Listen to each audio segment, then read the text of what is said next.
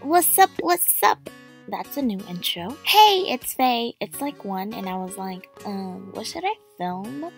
I know. On Instagram, you guys keep tagging me to review Medicube's Red Cushion.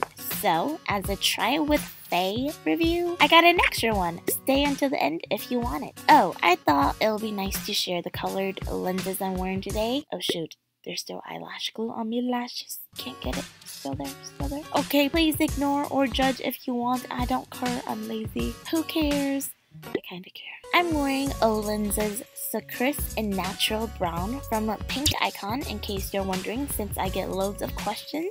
I think it's fair to start off by showing you the before aka my skin on the daily. This cushion went viral for the acne coverage so I'm setting my standards higher than my short 5 foot self. I was seriously debating to just apply this straight onto the skin or not. Let's apply it as if I would on a normal day. I'm starting with eye cream. I know you're like, what the hell? Be patient. BTW love this eye cream. It dries matte, so it's perfect for daytime. It's important to use one for the day and another for the night. Everything will be linked below if you're interested. Then going in with sunscreen. I'm skipping moisturizer. What? That's because I'm adding in my hyaluronic acid oil. It's gonna supply me with hydration and elasticity bounciness, all that good stuff. And yes, no primer today, only because I wanted to test its longevity alone.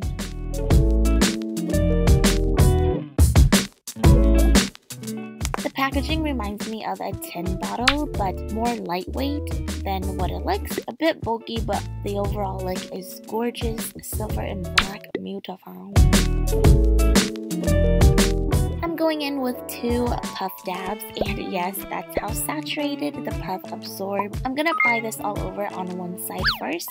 These two puffs lasted that whole half without having to grab more. A trick when applying a cushion that absorbed a lot of product is to press your face with pressure initially then after take your sweet old time and lightly pat your face to blend it out. Seriously the texture of this felt amazing. I don't know how to describe it. I'm sure some people might say it feels like a normal cushion, but I don't know. To me, my skin felt more accepting to it. This cushion consistency feels more like an American cushion. I don't know how to explain it. The formula is heavier, but it doesn't look heavy. I don't know. I do have huge pores and I am acne prone, so it's really hard to find a cushion with coverage. I'm sure girls can relate to this problem if you're on the same boat.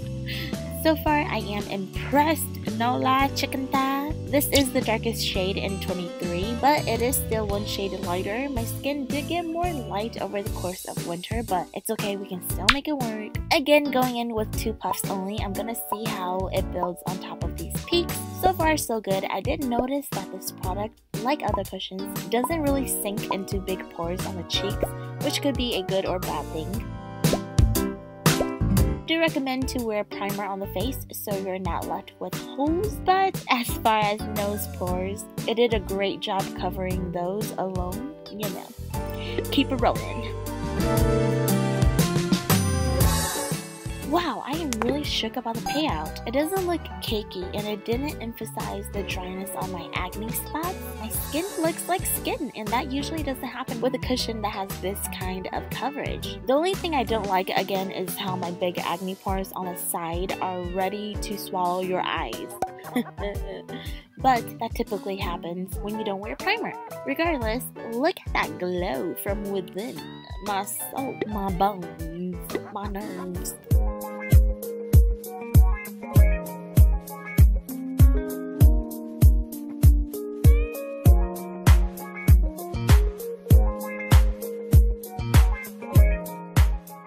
Here is the cushion in natural lighting. You can really tell the color difference and oh my gosh, Mount Everest is saying hi to its neighbors.